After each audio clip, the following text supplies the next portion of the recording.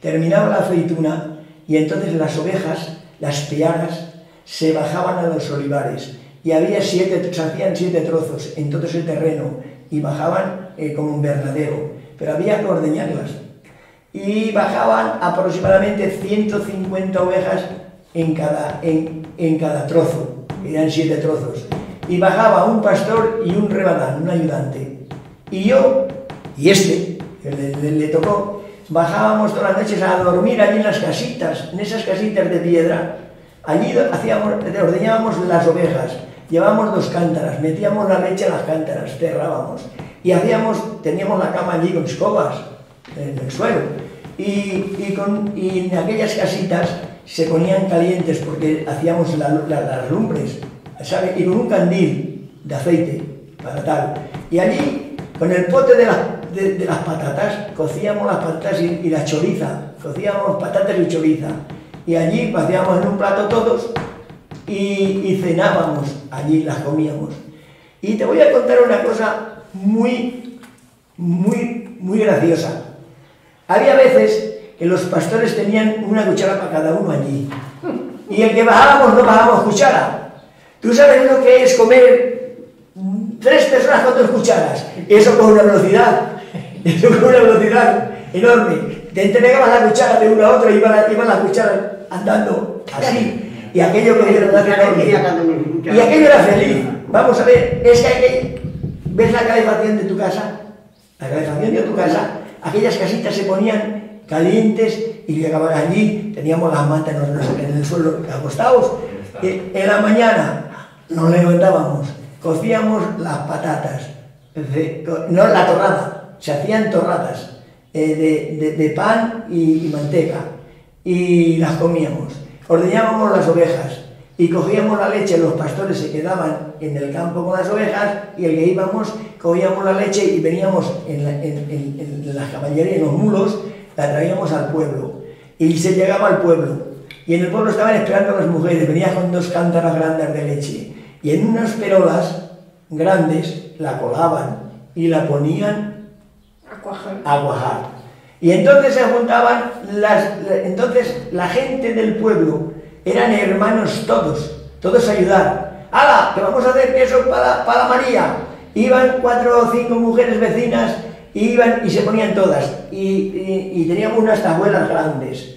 Y luego mmm, cortaban la leche, la cuajada como se corta normalmente ahora, la unían y se ponían y cada una en su, en su aro estaba haciendo el queso. Después venía el requesón y lo cocían en unas calderas de, de, cobre.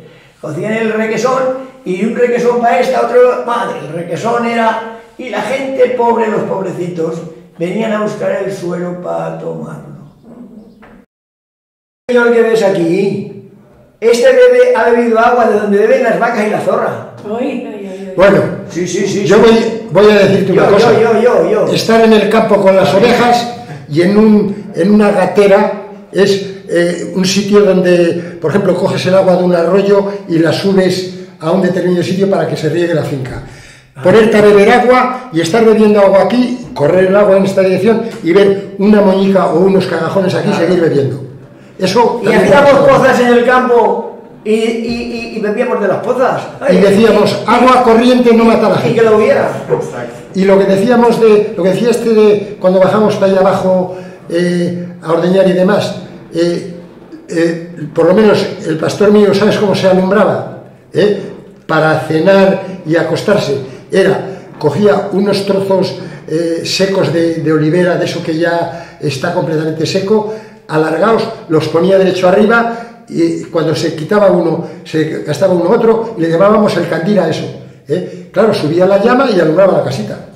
Oye, oye, oye, que no. Te voy a decir una cosa. Hemos conocido cosas, Que no- hemos conocido mucho bueno. que no llegue la necesidad, ¿eh? Y, y tan bueno era aquello como esto, Y sabiéndolo aceptar. Y éramos más felices. Yo cuando iba a Vitigudino, que tenía que salir de aquí a dormir a Cinasola, iba, iba más contento, como si fuera una con el ganado. Llegábamos allí, veíamos a los amigos con los caballos, llegábamos a la feria, íbamos eh, encantados de la vida. Claro.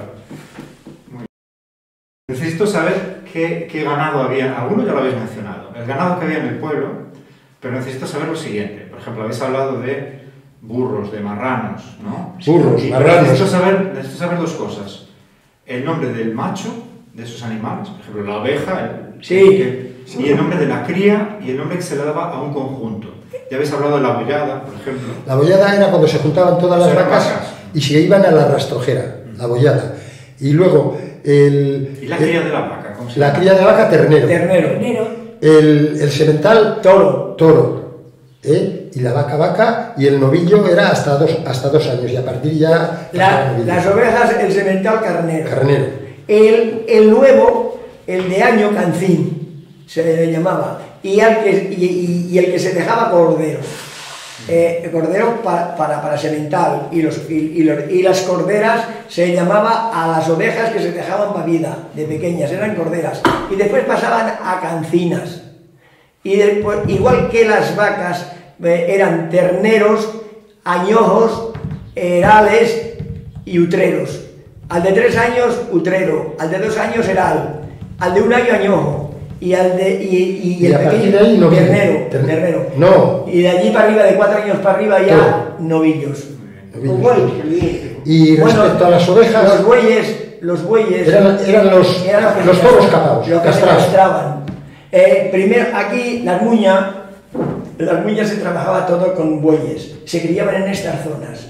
Y entonces aquí en estas zonas, una vez que tenían dos añitos, los cogíamos a trillar y empezaban a trillar. Y después los pasábamos a arar y después los pasábamos al carro. Y entonces, ¿qué pasaba? Que cuando ya llegaban a tres años, cuando los ibas a coger al carro a uñir, cabeceaban y eran peligrosos. Entonces cabeceaban y la- al uñirlos tenías un peligro, o al soltarlos cabeceaban. Y entonces se castraban, se capaban y ya se quedaban con la cabeza, ya no volvían a cabecear. Venían a yugo y no cabeceaban. Y luego, por eso se castraban. respecto a las ovejas que hemos, que hemos estado hablando, eh, por ejemplo, eh, mm, estaban las piaras, eh, las ovejas juntas, y luego los carneros, los borregos, los teníamos separados de las ovejas mm, durante un determinado tiempo para que no cubrieran las ovejas hasta un cierto momento Para que vinieran paridas para que vinieran por ejemplo, en el mes de octubre. ¿eh? Y cuando una oveja eh, se cubría ya más tarde y en vez de o en otro tiempo y ya ese cordero no se podía vender para, en fin, de, de cara a las navidades, por ejemplo, que venía eh, pariendo en el mes de febrero o marzo, a ese cordero se le llamaba recental.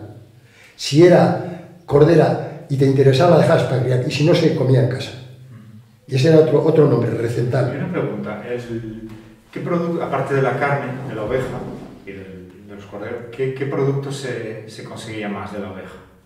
Hombre, el pelo que se hacía. La lana, el, el cordero y la leche. ¿Y la lana qué se hacía con la lana? La lana se venían y la compraban y, y la, y la llevaban para los textiles. ¿Y cómo se llamaba? Esquilar. Esquilar. Sí, ¿Y me- lo hacían ustedes? Así no? sí, yo, yo, mucha a tijera. Yo- Motilar, motilar, Motilar, se llamaba motilar, se motilar. llamaba motilar las ovejas. Pero a, a tijera, A tijera, he sí. motivado yo muchas. En un principio, tijeras que tenías, tenías que hacer con la un abrir y cerrar. Y en un después principio vinieron eran- unas eran con un de marco media, atrás Y después eran de otras que se abrían y se cerraban. eh, que ya eh, tú solo tenías que, que apretar que se abrían Que empezaron a venir en este pueblo de Argentina, las mandaban.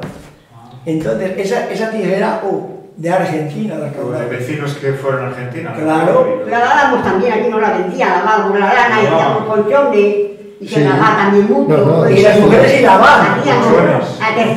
hilábamos. La Y lana que se lavaba era la que se lavaba era la que se había que hilar y trabajar. Y hacían Y ropa. la misma colchón de la Y cama, y bueno, y para los colchones también, claro. Para los colchones. Pero venían los camiones y se llevaban ¿Y, y toda. quién la compraba la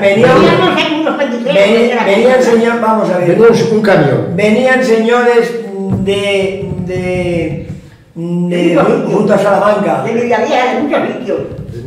Se dedicaban y, compraban Le to- llamábamos los toda la de penderos. los pueblos.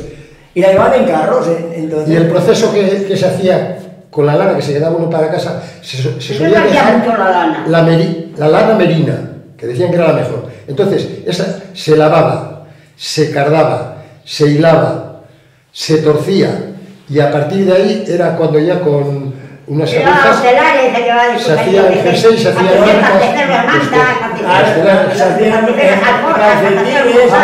calcetines, Ahora cambiado.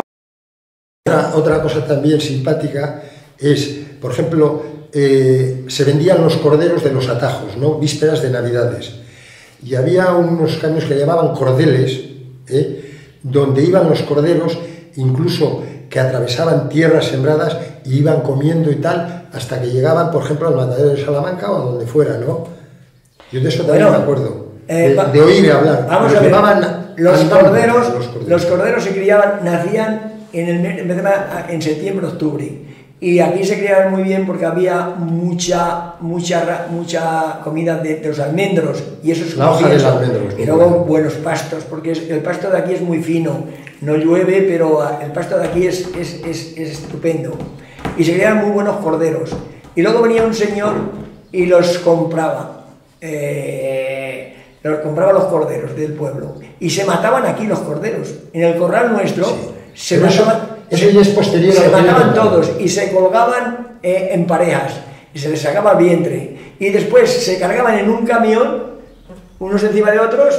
Y a, y a- mi padre fue a, a- a- a Madrid al matadero. se, se llamaba cordero Iban estripado. las mujeres a buscar las Iban las mujeres a buscar las tripas. Las, las- la sangre, La sangre. la sangre y las Y tripas. las tripas para comerlas. Las mujeres limpiaban las... De, de Sí, aquí, de aquí. limpiaban de y lava. con la sangre y tal, con cebolla y demás, preparaban una, una chanfaina. unas Coño, y, y nuestras madres y yo. Eh, los corderos, claro, eh, de la siguiente forma.